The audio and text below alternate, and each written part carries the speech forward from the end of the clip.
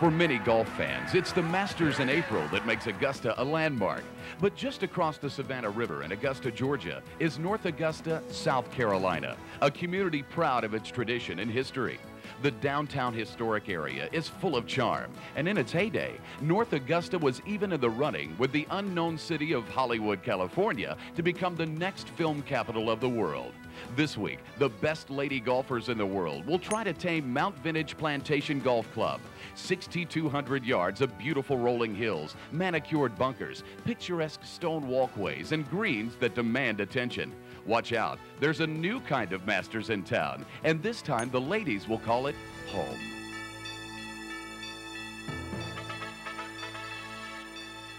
Hello everyone, I'm Kim Briel. The Masters may have its Amen Corner, but Mount Vintage Plantation Golf Club has this beautiful view from the 14th green to the scenic par 3 15th.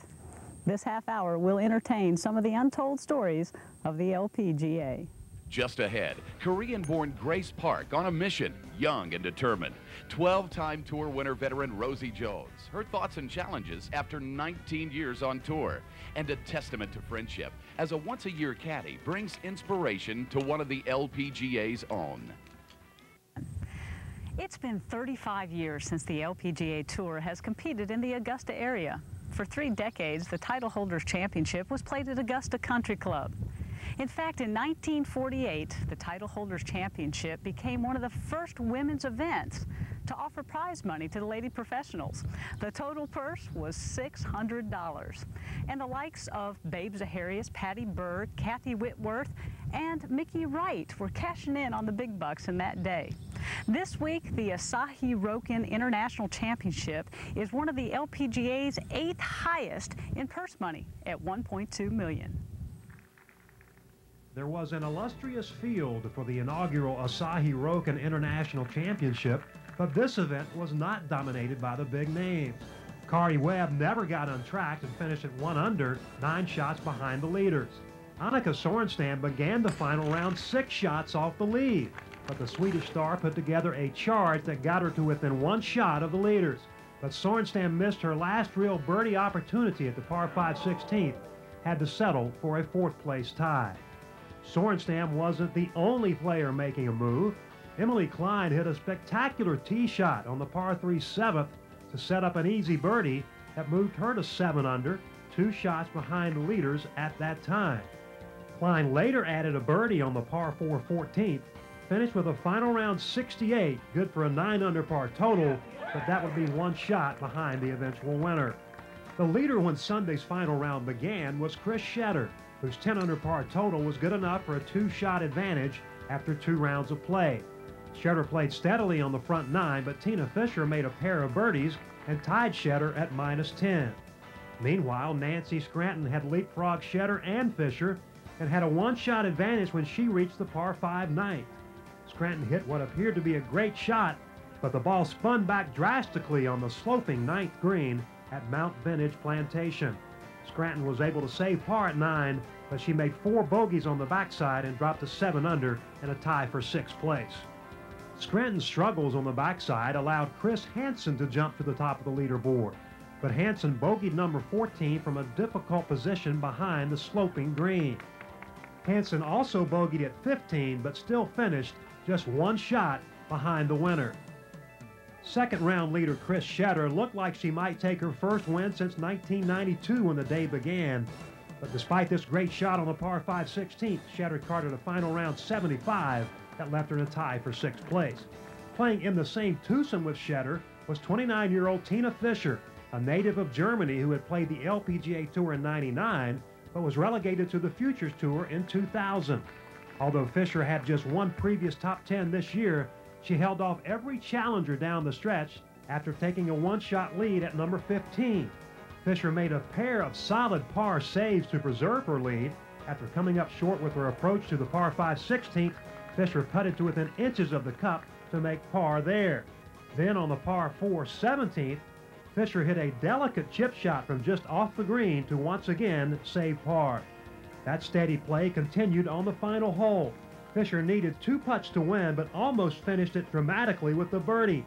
She was able to tap in for a final round 2 under 70 good enough for a 10 under total for the three-day event and a one-shot victory. The win was worth $180,000, which more than tripled her earnings from the first 19 events of this season. After getting congratulatory hugs from Kris Tschetter and her caddy, Tina Fischer also received a soda shower from some of her LPGA playing partners. The victory gives Fischer exempt status for next year on the LPGA Tour.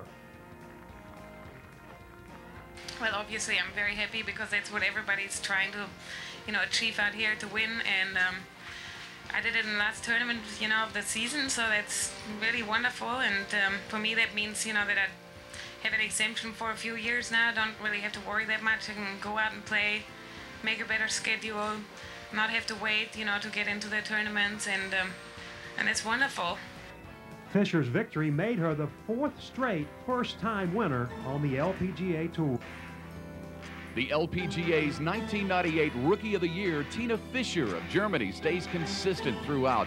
Her second round 66 was the booster as a final round 70 gives her the largest payout of her career and a one-stroke victory over Emily Klein and Tracy Hanson. Hanson also enjoys her biggest check ever at just over 96,000. Lori Kane and Annika both fire 68s in a tie for fourth and a host of others tied for sixth at 209. She was the first player since Patty Berg in 1938 to sweep all major amateur championships. And in 1999, she earned exempt status on the LPGA Tour by placing first on the SBC Futures Tour money list. Let's meet Korean-born Grace Park. I picked up the game when I was eight. Well, I started for the first time, but I didn't really get into it until I was 11. But within a month, my score dropped from shooting 120s to low 90s. So that's when, you know, then, and I was so, like, I wanted to beat my playing partner so badly that I had that competitiveness even when I was that young.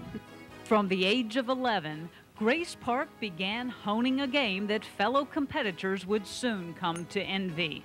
At the age of 15, she was named the American Junior Golf Association's Rolex Player of the Year.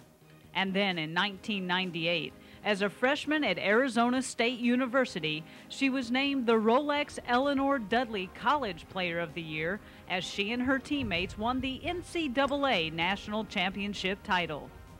In 1998, Grace Park was on top of the world, invincible, winning the Trans Amateur Championship, the Western Amateur, and the coveted U.S. Amateur title. She won a total of 55 national junior, college, and amateur titles. I was good when I was a junior player and college player and amateur player, but I haven't been too good as a professional, so I'm hope to get my past momentum back and start good on as a professional. The expectations were high titles among titles, and at the age of 20, she was the leading money winner in her first year as a professional on the SBC Futures Tour, granting her entry into the LPGA, where she believed the ride would continue. But it's a difficult stage, and players here ranked the best in the world. No, it's it's not about other players. It's about me. I um, for the first time in my career, my short but not too short career, I was struggling with my swing. That's, you know, I you hear so many professionals that struggle because they had little flaws in their swing, but not I mean, I had a little just a little bad thing that you know, prevented me from playing well. Um, just a lot of doubles and triples and water hazards and OBs and I'm finally learning that I need to be much, much more precise as a professional than when I was an amateur player. And, you know, I'm still young, I'm still learning. The statistics do reveal some of her shortcomings in this arena. But most would applaud a ranking of 34th on the money list at almost $350,000 this year. And in two years as a professional, she has won twice. I think I mean, it's such a tough life out here. Um, I don't know. I mean, every player goes through a cycle of, you know, good and bad, and I just don't feel like I've reached that good point yet, but I've experienced plenty of bad areas down below the cycle, so I'm just hoping to improve on that. She's been crowned the glamour girl of the LPGA. Her innocent demeanor and electrifying smile captures the approval of almost every gallery. This new lifestyle on the LPGA stage takes a little getting used to, and she'll admit. It's like living a little gypsy life at times. Um, Is it lonely?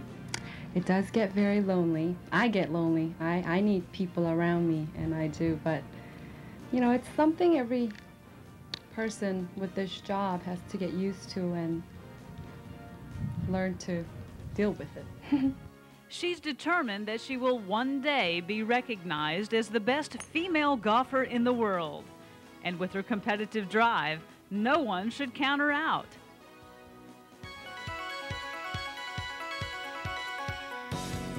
Superstitions, I always mark my ball with a 1977 quarter. I always have a Diet Coke in the morning before I play. And across the railroad, in the car, you gotta touch the screw and lift your feet. Oh yeah. Don't play with number three balls. Do not play with number three balls. I don't know what it is. It started in college. The numbers on my golf balls start on Thursday and go four, three, two, one to Sunday. So. As one of eight children, our next inside profile is no stranger to competition. With 12 LPGA Tour victories to her credit and a four-time Solheim Cup selection, Rosie Jones is still making a splash. Oh yeah, yeah. I was, you know, I came from a family of eight kids, and uh, we, we were very athletic, and I played a lot of softball, basketball, ran track, all the way through high school. And then uh, by the time I got into college, I was, um, I kind of, I gave up everything, and, and uh, I just kind of fell into it. And, and thank God because you know I got a, um, a scholarship to Ohio State University, where I, I probably never would have gone to college without my golf. And Graduating in 1982 as an All-America, Rosie knew exactly what she was going to do with her life. I never had any doubt as far as where I wanted to go with my golf. But um, I really hadn't won, you know, any big junior golf tournaments or big uh, collegiate golf tournaments or amateur events or anything, or had even placed well in them until I was probably a junior and senior in, in, in college. So um, it took me a long time to really pursue or to, you know, start to uh, um, get the fruits of the all the work that I that I had put into it up to then, and and um, and it was perfect timing because by the time I got out of college, um, I really wanted to turn pro. Rosie's first year on tour was in 1982, where her best finish was a tie for 28th. It took six years for her to post her first professional victory. And once breaking the ice, Rosie knew just what it took to get into the winner's circle. The next year, Rosie was a three time winner on tour, and her performance in 88, along with steady play in 89, got her a spot on the 1990 United States Solheim Cup team. Jones would also play on the 96, 98, and 2000 teams for her country. You know, when I go and play on the Solheim teams, I've been on four teams, and those have always been my proudest moments. You know, um, uh, playing for my country, and it's just a big thrill. 12 victories spanning over 14 years on tour.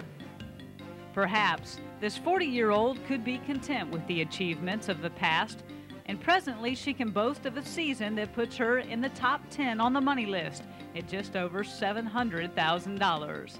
You know, I'm still in the hunt for a major golf championship. I think that's a um, it's not a make or break my career, but it's uh, disappointing. I've been so close over the last, especially the last few years, and, and, and come out without any. And and um, you know, but I think that's the only one disappointment I can think of. There are many who look at Rosie Jones as a role model, as she exemplifies the model athlete who may admit that more hard work and determination went into her achievements than that of a great gift which handed her those titles. She too looks at those in the public eye who've overcome great odds in a quest to achieve. Um, Tina Turner. oh, do you see those legs on that chick? She's what, 60? yeah. She was dancing and she was awesome. She was probably 50 then. but um, no, I just, she's come a long way from, you know, a very, very tough life. And um, yeah, you gotta. I just have a lot of, a lot of respect for that. The LPGA was chartered in 1950, and now, 51 years later, it's the longest running women's sports organization. Peggy Kirk Bell of Pine Needles Lodge and Golf Club was a part of this history and this standard of excellence we now respect. This week, our corner of history is the Bell of Southern Pines. In the 1940s, she won the Ohio Women's Amateur three times, won the famed North-South Amateur in 1949 in Pinehurst, won the Eastern Amateur, the Augusta title holders, played as an alternate on the 1948 Curtis Cup team, and played as a full member two years later. The greatest thrill in golf for me was playing on the United States Curtis Cup team. That was my goal. The big names in women's golf back then were, of course, Patty Berg, who was the very first female to be salaried by a sporting goods company to promote their product, and Wilson had them a good one. And I watched her, and she said, now I will hit one from right to left. And I thought, she knows where it's going. You know, I, I just tried to hit it. The other big name, of course, the Babe Didrikson Zaharias, first famed for her accomplishments in the Olympics and later for making her mark in golf. And Babe, I can remember sitting in a room with Babe and she'd say, call up some guy and she'd say, hey Bill, he said, how about putting on a, a woman's tournament? And said, he said, uh, well, how much? And she said, well, how about $2,000? And I'll bring the girls. And that was the beginning of the LPGA, and a friendship that still to this day brings a twinkle to the eye as Peggy Kirk Bell reflects back. She won the, the uh, Athlete of the Year. And she's in New York, and she's getting this award, and, and of course there wasn't television or anything, and, the, and they said, well, babe, what are your plans? And she said, I believe I'll play in the men's open. And of course, they shot out of that room, and Babe's going to play in the men's open. She had no intentions of playing in it, but she loved to give them a story.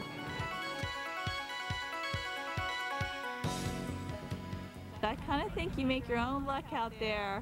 I guess the only thing that I do have, if you have a ball that's going in the hole, you're making a lot of putts with, I tend to keep playing with that ball, even if it's if it's not round anymore and the paint's chipped off of it, I'll, I'll keep playing with that ball. I won't take it out of play. So I like a ball that likes it dark. I used to carry a 64 silver quarter, but uh, once I reached that, I've, i carry a 59 silver quarter now, hoping hoping I'll reach that goal someday. I have a lot. I should say I had a lot, um, but I think the biggest thing I have it's not really a superstition. I just I really like to play with a ball repair tool that I have, um, so I don't go out without that. And I always say, you know, a private prayer before I go out. So if I don't do both of those things, I kind of feel a little out of kilter out there. The LPGA's Karen Weiss is 56th on the money list, but this next story isn't about her position on that list, but rather her rank in a very special friendship. While Karen was fighting to make the LPGA Tour, Pat was fighting to save her life. Now, this story isn't a focus on that battle, but by losing her left arm to cancer, it does make this week's story and Pat's job a little tricky for both player and caddy. Well, I think it was something like, could I ever caddy for you? If you, uh, if you, I get the opportunity, I think it went something like that. Yardages, slopes on the green, incidentals like the landing areas, sloping one way or the other, ridges on greens and low areas and bunkers, all of which caddies must make their second nature. Let's see, I'm supposed to clean the handles on the club, which I was told and forgot about today, and uh, take care of the clubs and keep them clean and have the all the balls ready when they hit the practice. And obviously, I can't even think of all the things I'm supposed to be responsible for. Pat Cooper is looping for tour veteran Karen Weiss. Weiss is currently 56th on the money list. The two met some 10 or 12 years ago, playing competitive golf against each other in the state of Minnesota. Now, this reunion happens once a year for a select tour event. You know, what an inspiration she has been to so many players in, in the state of Minnesota. And so for me, you know, to uh, have her come out here and strap the golf bag on and, and uh, you know, again, be willing to kind of put herself in that situation. We're fortunate we haven't had rain yet to deal with. You know, I mean, there are some possibilities, but for me, it's a great, you know, it's a great change of pace, and I get to kind of remember, um, you know, how fortunate I am. Number one, to be doing this for a living, and and number two, you know, that I am pretty good at this game, but. all things being equal, you know, what she's done with golf is, is uh, far beyond what I will ever achieve. Uh, when we actually play, she'll take the uh, towel and go clean her own ball because I'll be running over and getting things situated. So, no, it takes a more helpful player. Karen has scaled down from her tour bag to a small carry bag with a stand. The two will have to work together from the smallest of tasks, like Karen cleaning her own ball, to helping Pat strap the bag on her back. Karen believes she gains more than she loses on this week. She's so mentally tough on the golf course that she'll be cracking the whip on me to stay focused out there. And that's really, that's the thing that I gain in the, the equation. You know, the little things about how we manage, you know, cleaning the golf ball are pretty minor compared to what I actually gained from her in uh, that mental focus that she has. A focus so intense that this one armed caddy is one of the best amateurs in her state. Pat is a four handicap in Minnesota, and the dedication and discipline she adheres to will carry over in helping her friend as she earns the title of caddy. Well, you know, the caddy's always thinking ahead. I'm a player, so I think like a player. And uh, a lot of times Karen will have to kind of nudge me. I, when we started the round, I was looking for my golf glove. I was getting ready to hit. I, was, I was having a hard time with the concept of what her needs are. And a good caddy is uh, always thinking ahead of what the player's needs are. Three times gone, one cut made, and a top 25 finish. A goal they will set their sights on next year. It shouldn't be any surprise who's at the top of the LPGA season money list. At just over a million six is Annika Sorenstam. Se Ri Pak is just about a win and a top 10 behind Sorenstam at 1.3 million. And Karrie Webb is the only other player to cap the million dollar mark in 2001. We've enjoyed getting to know the girls. Hope you have. And we'll see you next time right here on Inside the LPGA.